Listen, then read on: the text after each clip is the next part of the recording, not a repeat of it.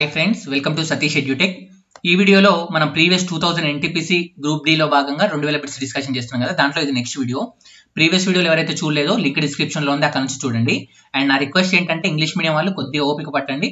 Telugu medium papers అయిపోవడానికి వచ్చాయి. So English medium papers కూడా నేను ఎక్స్ప్లెయిన్ చేస్తాను.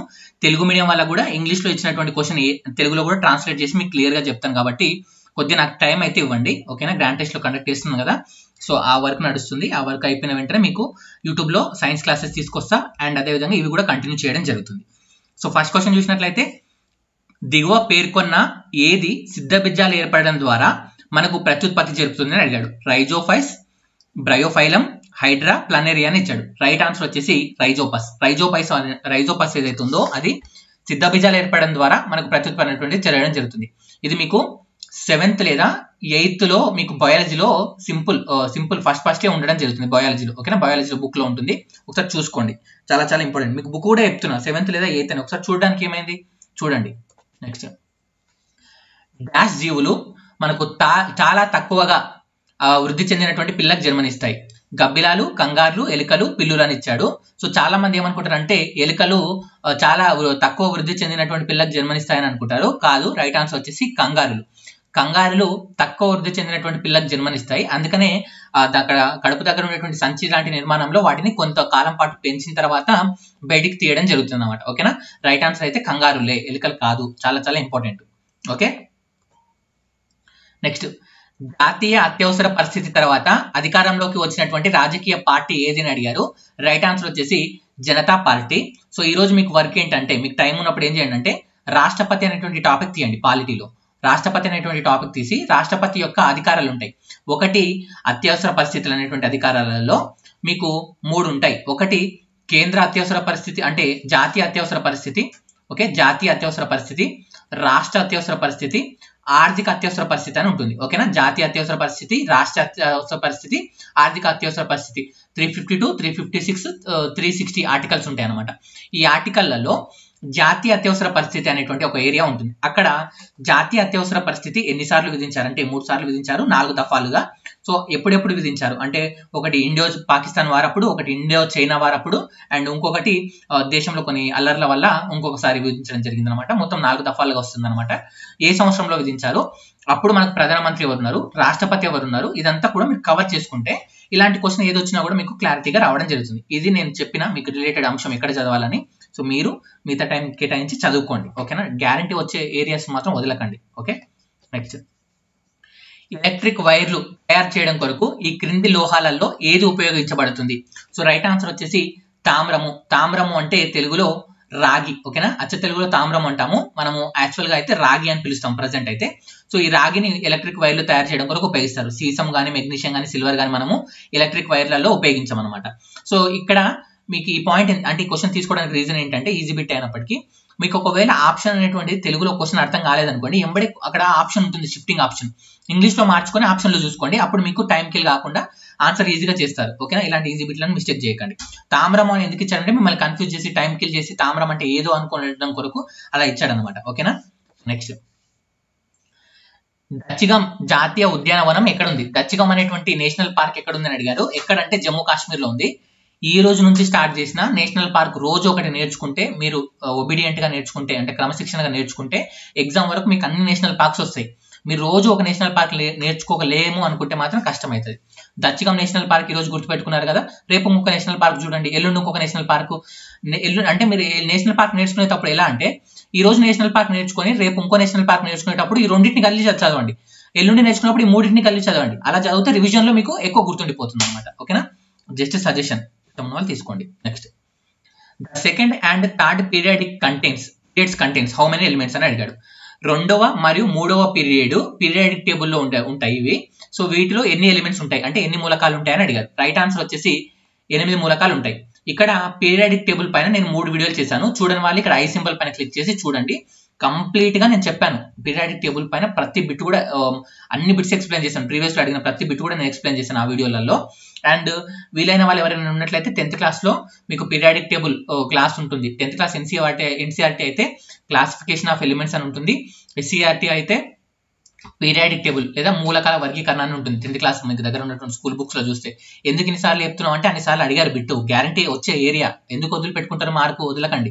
ఓకే సో దీని గురించి మాట్లాడితే క్వశ్చన్ గురించి మాట్లాడితే పీరియాడిక్ టేబుల్లో ఈ యొక్క అడ్డు వరుసలను మనం ఏమంటామంటే ఈ విధంగా అడ్డుగా ఉండేటువంటి వాటిని ఏమంటామంటే పీరియడ్ అని చెప్పి పిలవడం జరుగుతుంది. పీరియాడిక్ టేబుల్లో ఇక్కడ అడ్డుగా ఉండే వాటిని పీరియడ్స్ అంటాము. ఈ విధంగా నిలువుగా ఉండేటువంటి వాటిని మనము గ్రూప్స్ అని పిలవడం జరుగుతుంది. ఓకేనా సో ఈ గ్రూప్స్లో పీరియడ్స్ అయితే మనకి ఏడు ఉంటాయి. గ్రూప్స్ అయితే పద్దెనిమిది ఉండడం జరుగుతుంది. దీంట్లో మొదటి పీరియడ్లో ఎన్ని ఎలిమెంట్స్ ఉంటాయంటే రెండు ఎలిమెంట్స్ ఉంటాయి. రెండవ పీరియడ్లో మనకి ఎన్ని ఎలిమెంట్స్ ఉంటాయంటే ఎనిమిది ఉంటాయి. మూడవ పీరియడ్లో ఎన్ని ఉంటాయంటే మనకి ఎనిమిది ఎలిమెంట్స్ ఉంటాయి ఎనిమిది ఎలిమెంట్స్ ఉంటాయి. అంటే ఎనిమిది మూలకాలు ఉంటాయి. మొదటి పీరియడ్లో ఎన్ని ఉంటాయి? రెండు ఎలిమెంట్స్ ఉంటాయి. ఏముంటది? హైడ్రోజన్ హీలియం ఉంటుంది. రెండో దాంట్లో ఏముంటుంది? మనకు హీలియం తర్వాత ఏమేమి వస్తాయో అవన్నీ ఎనిమిది వరకు కౌంట్ చేయండి. తర్వాత ఏముంటుంది? పది వరకు ఉంటాయి అనమాట నెక్స్ట్ తర్వాత పదకొండు పన్నెండు పదమూడు అట్లా పద్దెనిమిది వరకు ఉండడం జరుగుతుంది. అదేవిధంగా ఈ పీరియాడిక్ టేబుల్ దీనికి రిలేటెడ్ ఏం అడిగాడంటే పీరియాడిక్ టేబుల్లో మనకు మనకు లాంథనైట్స్ అనేటువంటివి ఏ పీరియడ్లో ఉంటాయి? ఆక్టనైట్స్ అనేటువంటివి ఏ పీరియడ్లో ఉంటాయి? ఉంటే ఎక్కడి నుంచి ఎక్కడి వరకు ఉండడం జరుగుతుంది? అదే విధంగా మొదటి గ్రూప్ మూలకాలను ఏమంటారు? ఏమంటాం మనము? మొదటి గ్రూప్ని క్షార లోహాలు అని చెప్పేసి పిలవడం జరుగుతుంది. ఓకేనా? ఆల్కాలి మెటల్స్ అని పిలవడం జరుగుతుంది. సెకండ్ గ్రూప్ ఏమంటాము? Alkali earth metals. క్షార మృతిక లోహాలని పిలుస్తాం. సెకండ్ గ్రూప్ని పీరియడ్స్ని కాదు గ్రూప్ని గురించి మాట్లాడుతున్నాం. ఫస్ట్ గ్రూప్ అయితే క్షార లోహాలు సెకండ్ గ్రూప్ అయితే క్షార మృతిక లోహాలు. ఇంగ్లీష్లో అయితే ఫస్ట్ గ్రూప్ని ఆల్కాలి మెటల్స్ సెకండ్ గ్రూప్ అయితే ఆల్కాలి ఎర్త్ మెటల్స్ అని పిలుస్తాం అనమాట అదే విధంగా ఎయిటీన్త్ గ్రూప్ ఏమంటారు? ఏమంటారు? స్థిర వాయువులు లేదా జడవాయువులు లేదంటే ఇనట్ గ్యాసెస్ లేదా నోబెల్ గ్యాసెస్ లేదా మనం ఏమని పిలుస్తాం? వాటిని ఏమంటారు? స్టేబుల్ గ్యాసెస్ అని కూడా మనము పిలవడం జరుగుతుంది అనమాట ఓకేనా? సో ఈ విధంగా అడిగారు. క్లాస్ అయితే చూడండి. మూడు వీడియోస్ ఉంటాయి. చాలా చాలా ఇంపార్టెంట్ క్లాస్ అది. Next news channel Republic TV యొక్క ముఖ్య సంపాదకుడు ఎవరు? ఈ క్వశ్చన్ మీరు ప్రీవియస్ పేపర్ నుంచే తీసినటువంటి స్క్రీన్ షాటే మీరు క్లియర్గా అబ్జర్వ్ చేయొచ్చు. రైట్ ఆన్సర్ వచ్చేసి అర్నబ్ గోస్వామి. ఈయన రీసెంట్గా కూడా మీకు న్యూస్లో అందుబాటులో ఉన్నాడు. సుశాంత్ సింగ్ రాజ్పూత్ కేసులో కూడా కంగనా రనౌత్ అర్నబ్ గోస్వామి ఎక్కువ రిపబ్లిక్ టీవీ ఫోకస్ చేస్తుంది కాబట్టి. ఇది కూడా గుర్తుంచుకోండి. నెక్స్ట్ రమేష్ కుమార్ అనేటువంటి ఒక పాత్రికేయుడు ఈ క్రింది వార్తా ఛానల్లో దేంతో సంబంధం కలిగి ఉన్నాడని అడిగారు. ప్రీవియస్లో రైట్ ఆన్సర్ వచ్చేసి ఎన్డీ టీవీ ఇది ప్రీవియస్ బిట్టే హండ్రెడ్ అండ్ వన్ పర్సెంట్. మీరు నా మీద నమ్మకం ఉంచి అయితే ఉంచండి. నెక్స్ట్ భూమి యొక్క ద్రవ్యరాశి ఎంత? ఆప్షన్ చూడాల్సిన అవసరం లేదు. మీకు ఆల్రెడీ ఆన్సర్ గుర్తుండాలి. ఎవరైతే ప్రీవియస్ చూస్తున్నారో. రైట్ ఆన్సర్ ఎంత? Six into ten to the power of twenty four kg. ఇదే బిట్టు ఇప్పటికి ట్వంటీ టైమ్స్ చెప్పింట. అయినా మీరు గుర్తు పెట్టుకోకపోతే ఇంకా కష్టం అవుతుంది చాలా చాలా ఇంపార్టెంట్. రిపీట్ అయితే అవుతుంది కంపల్సరీ. భూమి యొక్క ద్రవ్యరాశి ఎంత? Six into ten to the power twenty four kg. Next. Dayananda Saraswati స్థాపించినటువంటి మిషన్ ఏది అని అడిగారు? దయానంద సరస్వతి గారు స్థాపించినటువంటి మిషన్ ఏది అంటే ఆర్య సమాజ్. ఆర్య సమాజ్. నేను ఎవరైతే ఫిఫ్టీ గ్రాండ్ టెస్ట్ రాస్తున్నారో వాళ్ళకి బిట్ట ఆల్రెడీ తగిలి ఉంటుంది.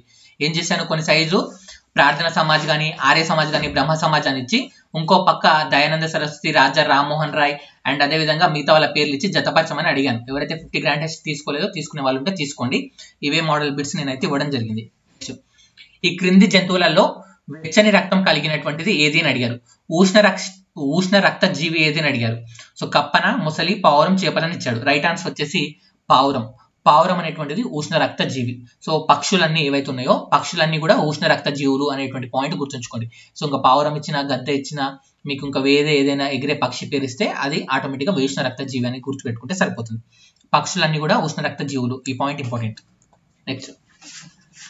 ఈ క్రింది దేశాలలో ఏ ఏ దేశము ఆస్కార్ అవార్డ్స్ ఇస్తుంది అని అడిగారు. ఏ దేశం ఇస్తుంది? USA America. సో ఈ పాయింట్ని ఇక్కడే వదలకుండా ఈ టూ థౌజండ్ ట్వంటీలో ఆస్కార్ అవార్డ్స్ ఎక్కడెక్కడ ఇచ్చారు? ఏ డైరెక్టర్కి ఇచ్చారు? ఏ మూవీకి వచ్చింది? సో మూవీ ఏ దానికి వచ్చింది పారాసైట్కి వచ్చింది కదా. పారాసైట్ డైరెక్టర్ ఎవరు? Bong Joon Ho movie best actor award ఎవరికి వచ్చింది? జో జోక్నిక్ ఫినిక్స్ రావడం జరిగింది. ఏ మూవీకి రావడం జరిగింది? జోకర్ మూవీకి రావడం జరిగింది. అండ్ బెస్ట్ యానిమేటెడ్ మూవీ ఏది వచ్చింది? బెస్ట్ విఎఫ్ఎక్స్ ఏది వచ్చింది? బెస్ట్ కాస్ట్యూమ్ డిజైన్ దేనికి వచ్చింది? ఇవన్నీ కూడా ఒకసారి చూసుకోండి. నెక్స్ట్ ఆధునిక ఆవర్తన పట్టికలో ఏ గ్రూప్ మూలకాలకు ఒక సంపూర్ణ బాహ్యకర్పరం ఉంటుంది? సంపూర్ణ బాహ్యకర్పరం ఉండేటువంటి గ్రూప్ ఏది అంటే మనకు పద్దెనిమిదో గ్రూప్ ఈ పద్దెనిమిదో గ్రూప్ని ఏమంటాము? చెప్పాను కదా ఇంతకుముందుకి నోబెల్ గ్యాసెస్ ఇన్నట్ గ్యాసెస్ జడవాయువులు స్థిర వాయువులు. ఓకేనా? సో దీంట్లోనే బాహ్యకర్పరం పూర్తిగా నిండి ఉండడం జరుగుతుంది అనమాట అందుకని ఇవి ఎక్కువ స్టేబుల్గా ఉండి వేటితో కూడా రియాక్ట్ కావు. సో పద్దెనిమిదో గ్రూప్లో ఏమేమి ఉంటాయి మనకు? హీలియం నియాన్ జినాన్ ఆర్గాన్ క్రిప్ క్రిప్టాన్ ఇవన్నీ కూడా ఉండడం జరుగుతుంది అనమాట ఓకేనా? So helium neon okay argon krypton xenon radon ఇవన్నీ కూడా మూలకాలు. ఇంతకుముందుకి ఏం అడిగాడంటే ఇదే ఎయిటీన్త్ గ్రూప్ గురించి మాట్లాడుకుంటూ మొదటి పీరియడ్లో ఉండేటువంటి జడవాయువు ఏది? లేదా మొదటి పీరియడ్లో ఉండేటువంటి మనకు ఈ యొక్క నోబెల్ గ్యాస్ ఏదని అడిగాడు. సో మొదటి గ్రూప్లో ఏది ఉంటుంది? హీలియం. సెకండ్ గ్రూప్లో ఏముంటుంది? నియాన్. థర్డ్ థర్డ్ దాంట్లో ఏముంటుంది? ఆర్గాన్. ఈ విధంగా కూడా మనకి ఎగ్జామ్లో అయితే అడిగారు. కాబట్టి ఎలా అడిగినా చెప్పడానికి రెడీ ఉండాలి. ఈ పేర్లు వచ్చి. నెక్స్ట్ ఏ రెండు దేశాల మధ్య వంద సంవత్సరాల యుద్ధం జరిగింది? హండ్రెడ్ ఇయర్స్ వార్ అనేటువంటిది ఏ దేశాల మధ్య జరిగింది? ఏ దేశాల మధ్య అంటే ఇంగ్లాండ్ మరియు ఫ్రాన్స్ ఇంగ్లాండ్ మరియు ఫ్రాన్స్ ఇలాంటి బిట్స్ మీకు కొన్నిసార్లు బుక్స్లో లభించవు కాబట్టి నోట్ డౌన్ చేసుకోవడం ఉత్తమము. అండ్ ఈ రోజు వర్క్ ఏంటంటే మీకు టైం ఉన్నప్పుడు ఈ రోజనే కాదు నోట్ డౌన్ చేసుకోండి. మీకు టైం ఉన్నప్పుడు ఏం చేయాలంటే ప్లాసీ యుద్ధం బాక్సర్ యుద్ధం అందరికీ గుర్తుంది. ఒకసారి దాన్ని చూసుకోండి. చూసుకున్న తర్వాత కర్ణాటక యుద్ధాలు ఇంపార్టెంట్ మైసూర్ యుద్ధాలు ఏవైతున్నాయో ఆ యుద్ధాలు చూసుకోండి. దాంతో పాటు ఇండియాలోకి ముస్లింలు పాలన దండయాత్ర జరుగుతుంది కదా అప్పుడు కొన్ని యుద్ధాలు జరుగుతాయి అనమాట గోగ్రి యుద్ధము చందేరి యుద్ధము కన్వా యుద్ధము ఇలాంటివి జరుగుతాయి. ఆ యుద్ధాలు ఇంపార్టెంట్ ఢిల్లీ సుల్తాన్లు కొన్ని రాజ్యాలపైన యుద్ధాలు చేస్తారు. ఆ యుద్ధాలు ఇంపార్టెంట్ బ్రిటిష్ వాళ్ళు మన దగ్గర వచ్చేటప్పుడు కొన్ని దేశాలతో అంటే మన దేశంలోకి వచ్చిన తర్వాత కొన్ని రాజ్యాల మధ్య ఇంటర్ రిలేటెడ్ ఏర్పడి ఇంకో దేశాన్ని అంటే ఇంకో రాజ్యాన్ని పడగొడతాయి అనమాట అలా ఎవరు ఎవరితో ఒప్పందం చేసుకున్నారు? ఇలాంటి వాటిని కూడా ప్రీవియస్లో అడిగారు. ఇవన్నీ ఒకసారి టైం ఉన్నప్పుడు చూడండి. రిక్వెస్ట్ నెక్స్ట్ క్రింది క్రీడలలో సత్యవర్త్ కడియాన్ ఏ ఆటకు సంబంధించిన వాడు? సత్యవర్త్ కడియాన్ ఏ ఆటకు సంబంధించిన వాడు అంటే రెజ్లింగ్. ఈ బిట్ మీకు ఇంత ఇంపార్టెంట్ కాకపోయినా నేను చెప్పే పాయింట్ ఇంపార్టెంట్ మీరు రోజు న్యూస్ పేపర్ చదివే హ్యాబిట్ అయితే నేర్చుకోండి. నేర్చుకుంటే రోజు స్పోర్ట్స్ పేపర్ చదవండి. ఎందుకంటే మనకు ఇంట్రెస్టే కదా ఐపీఎల్ అంటే. సో స్పోర్ట్స్ పేపర్ చదివేటప్పుడు ఐపీఎల్ ఒకటే కాకుండా మిగతా కూడా చూడండి. మిగతా చూసేటప్పుడు అక్కడ కొత్త కొత్త ప్లేయర్ల పేరు కనబడుతుంది. ఆ ప్లేయర్ పేరు అక్కడ అతను ఏ ఆటకు సంబంధించిన వాడు అనేటువంటిది ఒక నోట్స్లో రాసుకోండి. ఎగ్జామ్ వరకు మీకు మస్తు ప్లేయర్లు వస్తారు. అండ్ అదేవిధంగా ఒకవేళ అడిగితే మాత్రం బిట్ మీరు మాత్రమే చేయగలుగుతారు. ఒకవేళ మీరు ఈ విధంగా ప్రాక్టీస్ చేస్తే. నెక్స్ట్ వీటిలో భారతదేశ పార్లమెంట్ యొక్క ఎగో సభ అని దేని పిలుస్తారు? ఎగవ సభ అని దేని పిలుస్తారు? రాజ్యసభను మనము పిలవడం జరుగుతుంది. సింపుల్ బిట్టే నెక్స్ట్ పర్వత కేంద్రాల యువరాణిగా ప్రసిద్ధి చెందినటువంటి ప్రాంతం ఏది అని అడిగారు? Right answer Kodaikanal. కొడైకనల్. పర్వత కేంద్రాల యువరాణి. ఓకేనా? కొడైకనల్. ఫలదీకరణం చెందినటువంటి అండము జీవాణువులలో ఎక్కడ అమర్చబడుతుంది అని అడిగారు. ఎక్కడ అమర్చబడుతుంది? గర్భాశయంలో అమర్చబడుతుంది. ఇక్కడ ఇంపార్టెంట్ పాయింట్ చెప్తాను. ఫలదీకరణం ఎక్కడ చెందుతుంది అని అడిగితే మాత్రం ఫాలోఫియన్ ట్యూబ్. ఓకేనా? ఫాలోఫియన్ నాళం నాళంలో మనకు ఫలదీకరణం చెందుతుంది అనమాట కానీ ఫలదీకరణం చెందిన తర్వాత ఇది ఎక్కడికి వెళ్తుంది? గర్భాశయానికి వెళ్తుంది. సార్ ప్రీవియస్ ఎగ్జామ్లో మిమ్మల్ని ఈ బిట్ అడిగాడు అనమాట ఫలదీకరణం ఎక్కడ చెందుతుంది అని చెప్పేసి గర్భాశయం ఫస్ట్ ఆప్షన్ ఇస్తే చాలా మంది ఎలిమినేట్ అయిపోయారు. ఎక్కడంటే ఫాలోఫియన్ ట్యూబ్లో జరుగుతుంది. ప్రత్యుత్పత్తి అనే టాపిక్ని చదవండి. నెక్స్ట్. కాంతి సంవత్సరం అనేటువంటిది దీనికి ప్రమాణం. వైశాల్యాన్ని కొలవడానికి ఉపయోగిస్తారా? సమయాన్ని కొలవడానికి ఉపయోగిస్తారా? ద్రవరాశి కొలవడానికి ఉపయోగిస్తారా? పొడవును కొలవడానికి ఉపయోగిస్తారని అడిగాడు. సో రైట్ ఆన్సర్ ఏంటంటే పొడవు. చాలా మంది సమయాన్ని కొలవడానికి అనుకుంటారు. కాంతి సంవత్సరం అంటే సంవత్సరం అంటే సమయం అనుకుంటారు. కానీ కాదు. కాంతి సంవత్సరం అనేటువంటిది పొడవును కొలిగే పొడవును కొలవడానికి ఉపయోగిస్తారన్నమాట. ఏ పొడవును? రెండు గ్రహాల మధ్య కానీ లేదంటే కొన్ని స్టార్స్ మధ్య ఉండేటువంటి పొడవును కొలవడం కొరకు ఈ యొక్క కాంతి సంవత్సరం అనేటువంటి దాన్ని ఉపయోగించడం జరుగుతుంది అనమాట సో కాంతి సంవత్సరం విలువ ఎంత అనేటువంటిది ఒకసారి మీరు చూసుకున్నట్లయితే కాంతి సంవత్సరంతో పాటు ఇంకా రెండు ఉంటాయి అక్కడ. కాంతి సంవత్సరం అన్న కాంతి సంవత్సరంతో పాటు ఆస్ట్రనామికల్ యూనిట్ అని ఉంటుంది. ఆస్ట్రనామికల్ యూనిట్ అన్న పారాసెక్ అని ఉంటుంది. పారాసెక్ అన్న. ఈ మూడు కూడా పొడవును కొలవడం కొరకు ఉపయోగిస్తారు. కాంతి సంవత్సరము ఆస్ట్రనామికల్ యూనిట్ అదేవిధంగా పారాసెక్. పారాసెక్ అంటాం ఓకేనా? కాంతి ప్రమాణాలు అంటే పొడవు ప్రమాణాల్లో పెద్దది పారాసెక్ అనమాట సో ఈ పారాసెక్ ఈ మూడిని కూడా మనం దేని కొరకు ఉపయోగిస్తాం? పొడవును లెక్కించడం కొరకు ఉపయోగించడం జరుగుతుంది. చాలా చాలా ఇంపార్టెంట్. కాంతి సంవత్సరం అనేటువంటిది పొడవు కొరకు ఉపయోగిస్తారు. మళ్ళీ చెప్తున్నా. నెక్స్ట్. క్రింది వాటిలో ఏది ధ్వని తరంగం యొక్క లక్షణం కాదు అన్నాడు. కాదు. ఇలాంటి క్వశ్చన్ చాలా జాగ్రత్తగా చదవండి. కాదు అడుగుతున్నాడా? అవును అడుగుతున్నాడా? చూడండి. ప్రకాశం అనేటువంటిది ధ్వని లక్షణం కాదు. ప్రకాశం అంటే లైట్ లాగా మనకు కాంతిని ఇస్తుందా ధ్వని? ఇయ్యదు కదా? సో ఆటోమేటిక్ అది కాదు.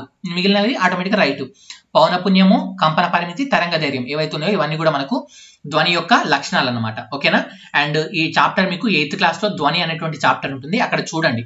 ఎయిత్ క్లాస్ సైన్స్ బుక్ తీస్తే ధ్వని చాప్టర్ చదివితే మీకు చాలా చాలా ఇంపార్టెంట్ అక్కడ మీకు తిరేక్ తరంగాలు అనుధైర్య తరంగాల గురించి ఉంటుంది. దాంతో పాటు ఒక టేబుల్ ఉంటుంది సార్ మీరు ఈవెన్ ఎన్సీఆర్టీలో కూడా మీకు ధ్వని సౌండ్ లెసన్ ఉంది ఎయిత్ క్లాస్లో చూసుకోండి. ఆ టేబుల్లో మనకు గాలి వచ్చినప్పుడు పైరు ఏదైతే ఉంటుందో అంటే గడ్డి ఊగుతుంది కదా ఊగినప్పుడు కొంత డెసిబుల్స్ ధ్వని తీవ్రత ఉత్పత్తి అవుతుంది అనమాట అది ఎన్ని డెసిబుల్స్ అని ప్రీవియస్లో అడిగారు. అది ఎక్కడ ఉందంటే ఎయిత్ క్లాస్ టెక్స్ట్ బుక్లోనే ఉంది.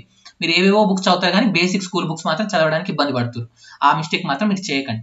అక్కడ మొత్తము ఎనిమిది ఉంటాయి. ఎనిమిది అంశాలు ఉంటాయి. అంటే లాని యంత్రం నడిచినప్పుడు ఎంత వస్తుంది? లేదంటే ఒక మనకు ఈ గాలి వల్ల ఈ పైరు ఊగినప్పుడు ఎంత డెసిబుల్స్ వస్తుంది? సౌండ్ హారన్ చేసేటప్పుడు ఎంత డెసిబుల్స్ సౌండ్ వస్తుంది? ఇవన్నీ కూడా ఉంటాయి. అది ఒకసారి చూసుకోండి ఆ టేబుల్ పైన చాలా బిట్స్ అడిగాడు. నెక్స్ట్ సార్వత్రిక గురుత్వ స్థిరాంకం యొక్క ఎస్ఐ యూనిట్ ఏమిటి అని అడిగాడు. ఎస్ఐ యూనిట్స్ ఏముంటాయి? Newton metre square per kg square. దీన్ని ఈ విధంగానే ఇవ్వచ్చు ఆప్షన్లలో లేదా newton metre square kg power minus two kg power minus two. So ఇక్కడ కింద బై రూపంలో ఉన్నదాన్ని మనం పైకి రాయాలన్నప్పుడు మైనస్ అనేటువంటి దాన్ని ఉపయోగించడం జరుగుతుంది. ఈ పాయింట్ గుర్తుంచుకోండి. ఎస్ఐ యూనిట్స్ నేను క్లాస్ చేశాను. చూడని వాళ్ళు తప్పనిసరిగా చూడండి. వన్ మార్క్ ఏరియా ఓకేనా next SI units in Telugu Satish Edutech అని కొట్టండి. మీకు ఆ క్లాస్ వస్తుంది యూట్యూబ్లో నెక్స్ట్ ఒక యాంపేర్ ఈక్వల్ టు ఏంటి అని అడిగాడు. సార్ ఇదే మోడల్లో క్వశ్చన్ అడిగాడు. యాంపియర్ యొక్క ప్రామాణికమైనటువంటి అంశం అంటే డెఫినేషన్ నుంచి అడుగుతుంది. యాంపియర్ అనేటువంటి దేనికి ప్రమాణం? విద్యుత్. విద్యుత్ అంటే ఏంటి? ఒక ప్రమాణ విద్యుత్ ఆవేశం ఒక సెకండ్ కాలం పాటు ప్రయాణించడాన్ని మనం ఒక యాంపియర్ అని చెప్పేసి పిలవడం జరుగుతుంది. విద్యుత్ అని పిలవడం జరుగుతుంది. So coulomb per second coulomb per second. Ampere అంటే కూలం పర్ సెకండ్ అనేటువంటిది రైట్ ఆన్సర్ అవ్వడం జరుగుతుంది. ఇంత ముందుకు ఏం అడిగాడు మనకు? పీడనం అడిగాడు. పీడనం ఇజ్ ఈక్వల్ టు అని చెప్పేసి ఇవ్వడం పీడనం అంటే ఏమవుతుంది ప్రమాణ వైశాల్యం పైన ప్రయోగింపబడ్డటువంటి ఒత్తిడి ఏదైతే ప్రెషర్ ఉందో దాన్ని మనం ఏమంటాము? ఒత్తిడిని మనం ఏమంటాము? పీడనం అని చెప్పేసి పిలవడం జరుగుతుంది అనమాట ఓకేనా? అండ్ నెక్స్ట్ చూసినట్లయితే అంటే ప్రమాణ పర్టికులర్ ఒక ఏరియాలో ఒక ఒక యూనిట్ ఏరియా పైన మనం ఉపయోగించినటువంటి థ్రస్ట్ థ్రస్ట్ ఏదైతే ఉందో దాన్ని మనం ప్రెషర్ అని చెప్పేసి పిలవడం జరుగుతుంది. నెక్స్ట్ ప్రీవియస్లో ఇంకేం అడిగాడు? సాంద్రత డెన్సిటీ అడిగాడు. డెన్సిటీ డెన్సిటీ అంటే ద్రవ్యరాశి బై ఘనపరిమాణం. ద్రవ్యరాశి బై ఘనపరిమాణం. అంటే mass by value mass by value సాంద్రత ఈక్వల్ టు ద్రవ్యరాశి బై ఘనపరిమాణం. అదేవిధంగా ఘనపరిమాణం బై ద్రవ్యరాశి ఈ విధంగా మిమ్మల్ని కన్ఫ్యూజ్ చేయడానికి ఇచ్చాడు. పీడనం అడిగాడు ద్రవ్యరాశి అడిగాడు యాంపియర్ అడిగాడు ఇంకా చాలా అడిగాడు. అవి కూడా ఒకసారి చూసుకోవాలి మీరు. ప్రమాణాలు.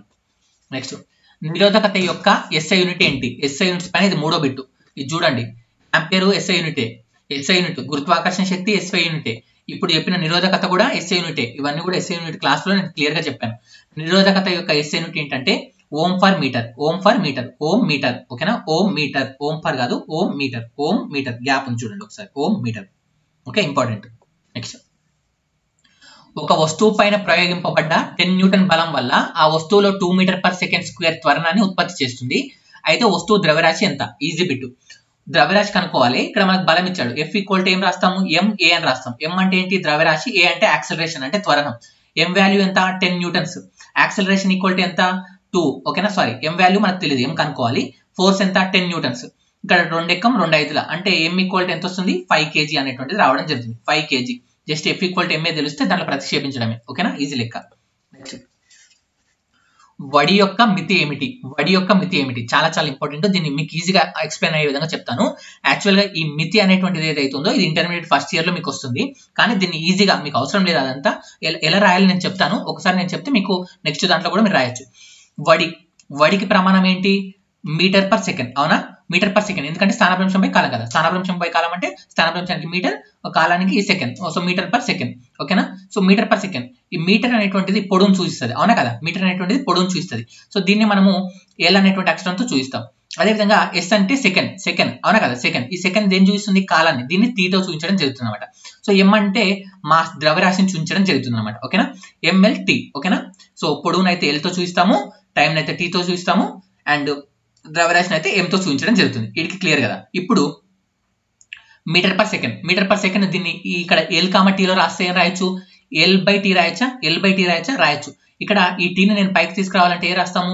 L T power minus one రాస్తామా? L T power minus one ఇక్కడ ఎం వాల్యూ ఉందా? లేదు. కాబట్టి M power zero so M power zero okay M power zero L power one T power minus one అనేటువంటిది ఈ యొక్క వడి యొక్క మితి యొక్క సూత్రం. So M power zero L T power minus one అనేటువంటిది వాడి యొక్క సూత్రం. ఒకవేళ దీన్నే మనకు త్వరణానికి అడిగాడు అనుకుందాం త్వరణం. ఓకే త్వరణం. యాక్సిలరేషన్ ఓకే యాక్సిలరేషన్ అడిగాడు అనుకుందాం.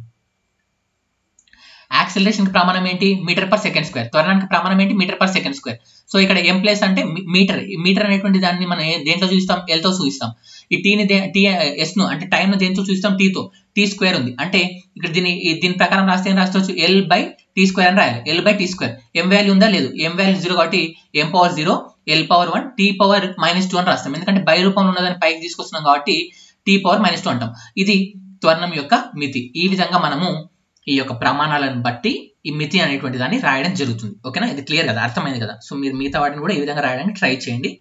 నేను ఒక సపరేట్ క్లాస్ అయితే ట్రై చేస్తాను. నెక్స్ట్ చాలా ఈజీ క్వశ్చన్ చాలా చాలా ఇంపార్టెంట్ క్వశ్చన్ ఒక వస్తువు యొక్క ద్రవ్యరాశిని మార్చకుండా ఉంచి దాని ద్రవ్య వేగాన్ని రెట్టింపు చేస్తే గతిశక్తి ఏమవుతుందని అడిగాడు. సార్ ఇక్కడ గతిశక్తి ఏదైతే కైనటిక్ ఎనర్జీ ఉందో దానికి ఫార్ములా ఏంటి? హాఫ్ ఎం వి స్క్వేర్ ఎన్నిసార్లు చెప్తా అంటే ఇంకా చెప్తా. ఎందుకంటే ఇది ఇంపార్టెంట్ కాబట్టి. K equal to half M square మీకు తెలుసు. ఇక్కడ ఏమంటుండు? ద్రవ్యరాశిని మార్చకుండా అంటే ఏదైతే మాస్ ఉందో దాన్ని చేంజ్ చేయొద్దంట. వెలాసిటీని ఏం చేయమంటుండు? డబల్ చేయమంటుండు. వెలాసిటీని డబల్ చేద్దాం. డబల్ చేస్తే ఏం రాయొచ్చు? Half M two V whole square రాయచ్చా? రాయొచ్చు. హాఫ్. ఎం టూ స్క్వేర్ అంటే ఫోర్. ఫోర్ వి స్క్వేర్ రాయొచ్చు. ఇక్కడ నేను ఫోన్ బయటికి తీసుకొస్తాను ఫోర్ బయటికి తీసుకొస్తే ఏం రాయొచ్చు?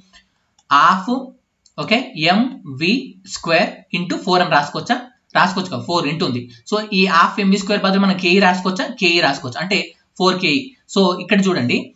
ఆల్రెడీ కేఈ అనేటువంటి దానిలో మనం వేగాన్ని వెలాసిటీని డబల్ చేస్తే ఆ ఆ యొక్క గతిశక్తి ఏదైతే కైనటిక్ ఎనర్జీ ఉందో ఎన్ని రెట్లు మారుతుంది అంటే నాలుగు రెట్లు మారుతుంది అనమాట ఓకేనా? ఇది బిట్ అనమాట సో ఇక్కడ ఏం అడుగుతాడంటే గతిశక్తుల యొక్క వేగాన్ని డబల్ చేస్తే ఏమైతుంది? ఎన్ని రెట్లు పెరుగుతుంది అని అడుగుతాడు. ఎన్ని రెట్లు పెరుగుతుంది? డబల్ చేస్తే నాలుగు రెట్లు పెరుగుతుంది. అది త్రిబుల్ చేసామనుకోండి తొమ్మిది రెట్లు పెరుగుతుంది. ఆ విధంగా మీకు లెట్ అడుగుతారు. అసలు దానికంటే నాలుగు రెట్లు ఎక్కువ అవుతుంది అనేటువంటిది రైట్ ఆన్సర్ ఇక్కడ. ఓకేనా? ఒరిజినల్ కంటే ఫోర్ ఫోర్ టైమ్స్ పెరుగుతుంది అనేటువంటిది రైట్ ఆన్సర్ ఓకేనా? క్లియర్ కదా? ఇది అర్థమైంది కదా? ఇంకోసారి ఇస్తే కూడా చేయాలి మీరు. నెక్స్ట్ తక్కువ ఉష్ణవాహకత్వం కలిగి ఉండేదాన్ని కనుక్కోండి అన్నాడు. తక్కువ ఉష్ణవాహకత్వం అంటే తక్కువ విద్యుత్ని తక్కువ వేడిని దాని గుంత ప్రవహించేసేయడం సో ఇక్కడ ఆప్షన్ ఇచ్చాడు? వెండి మెర్క్యూరీ అల్యూమినియం రాగి. ఇవన్నీ కూడా లోహాలే. కాకపోతే మెర్క్యూరీ అనేటువంటి ద్రవ రూపంలో ఉండే లోహం కాబట్టి ఇది తక్కువ ఉష్ణాన్ని దాని గుండా పంపిస్తుంది అనమాట అందుకని రైట్ ఆన్సర్ మెర్క్యూరీ. వెండి అనేటువంటిది ఉత్తమ ఉష్ణవాహకం వేడిని తొందరగా స్ప్రెడ్ చేస్తుంది. ఆ రాగి కానీ అల్యూమినియం కానీ మెర్క్యూరీతో పోలిస్తే ఈ మూడు బెటర్ అనమాట సో ఆప్షన్ అనేటువంటివి దాన్ని బట్టి మనం రైట్ ఆన్సర్ ఇవ్వాల్సి ఉంటుంది. ఓకే కదా ఇది? నెక్స్ట్ దిగో వాటి నుంచి అత్యధిక నిరోధకత్వం కలిగినటువంటి ఇన్సులేటర్ని గుర్తించండి అడిగాడు. అత్యధిక ఇన్సులేటర్ ఏది అంటే గట్టి రబ్బర్. డ్రై పేపర్లో కానీ గ్లాస్లో కానీ డ్రైమెండ్లో కానీ మనకు ఈ యొక్క విద్యుత్ అనేటువంటిది ప్రవహించదు. కాకపోతే గట్టి రబ్బర్ అనేటువంటిది పూర్తిగా కంప్లీట్గా అత్యధిక నిరోధకత్వాన్ని కలిగి ఉంటుంది అనమాట ఓకేనా? సో నెక్స్ట్ ఒక వస్తువు నిచ్చల స్థితి నుంచి ఫైవ్ మీటర్ పర్ సెకండ్ త్వరణాన్ని పొందుతుంది. ఫైవ్ సెకండ్స్ తర్వాత దాని యొక్క వేగం అడుగుతుండు. ఇక్కడ ఏమంటుండు? ఒక వస్తువు యొక్క యాక్సిలరేషన్ ప్రతి సెకండ్కి కూడా మనకు ఫైవ్ మీటర్స్ అనేటువంటిది పెరుగుతుంది. ఓకేనా? అయితే ఫైవ్ సెకండ్స్ తర్వాత దాని యొక్క వెలాసిటీ ఎంత అని అడుగుతుంది. ఫైవ్ సెకండ్స్ తర్వాత ఫస్ట్ ఎంత ఉంటుంది? ఫైవ్ ఉంటుంది. తర్వాత నెక్స్ట్ సెకండ్ ఏమవుతుంది ఐదు పెరుగుతుంది. ఐదు పెరుగుతుంది కాబట్టి పది అవుతుంది. నెక్స్ట్ సెకండ్ పదహైదు. నెక్స్ట్ సెకండ్ ఇరవై. నెక్స్ట్ సెకండ్ ఇరవై ఐదు అంటే ఐదు సెకండ్లకు దాని వేగం ఎంత అవుతుంది? ఇరవై ఐదు మీటర్ పర్ సెకండ్ అనేటువంటిది అవడం జరుగుతుంది. ఎందుకు అవుతుందంటే యాక్సలరేషన్ అంటే ఏంటి? వెలాసిటీలో చేంజ్ అవునా కదా? అంటే వేగం త్వరణం అంటే ఏంటి? వేగంలో మార్పు కదా. వేగంలో మార్పు ఎంతెంత పెరుగుతుంది? ప్రతి ప్రతి సెకండ్కి ఐదు ఐదు పెరుగుతుంది. కాబట్టి ప్రతి సెకండ్ ఐదు అంటే ఐదు ఐదులో ఇరవై ఐదు అనేటువంటిది రైట్ ఆన్సర్ అవ్వడం జరుగుతుంది. ఓకే కదా ఇది? ఓకే డాష్ అనేటువంటిది కంప్యూటర్ యొక్క అన్ని ప్రాసెస్లను నిర్వహించి ప్రోగ్రాంలను మరియు అప్లికేషన్లు రన్ చేసేందుకు ఉపయోగించేటువంటి సాఫ్ట్వేర్ అని అడిగాడు. రైట్ ఆన్సర్ వచ్చేసి ఆపరేటింగ్ సిస్టమ్ ఆపరేటింగ్ సిస్టమ్ అనేటువంటిది ఏదైతే ఉందో ఇది అన్ని ప్రోగ్రాంలను నిర్వహిస్తుంది అదేవిధంగా అప్లికేషన్ రన్ చేస్తుంది అన్ని ప్రాసెస్లను కూడా నిర్వహించడం జరుగుతుంది అనమాట మాల్వేర్ అంటే మనకి ఇది ఒక వైరస్కి సంబంధించినటువంటిది. స్పామ్ అన్న కూడా వైరస్ సంబంధించినటువంటిది మోడెం అంటే మనం నెట్ కనెక్షన్ రావడం కొరకు ఉపయోగించేది. ఓకేనా రైట్ ఆన్సర్ ఆపరేషన్ సిస్టమ్ మన విద్యుత్ బిల్లలో శక్తి వినియోగం ఉంటుంది కదా దాన్ని ఏ యూనిట్లలో కొలుస్తారు? కిలోవాట్ పర్ అవర్లో కొలుస్తాం. Kilowatt hour sorry kilo kilowatt per hour కాదు కిలోవాట్ అవర్ కిలోవాట్ అవర్లో కొలుస్తాం. నెక్స్ట్ సో ఇది ఈ వీడియోలో. ఎవరైతే ఇంతవరకు ఫిఫ్టీ గ్రాండ్ టెస్ట్ తీసుకోలేదో ఆ ఫిఫ్టీ గ్రాండ్ టెస్ట్ సిరీస్ ఎవరైనా తీసుకోవాలనుకుంటే కోడ్ ఫిఫ్టీ అనేటువంటి కూపన్ కోడ్ను వాడండి. కోడ్ ఫిఫ్టీ అనేటువంటి కూపన్ కోడ్.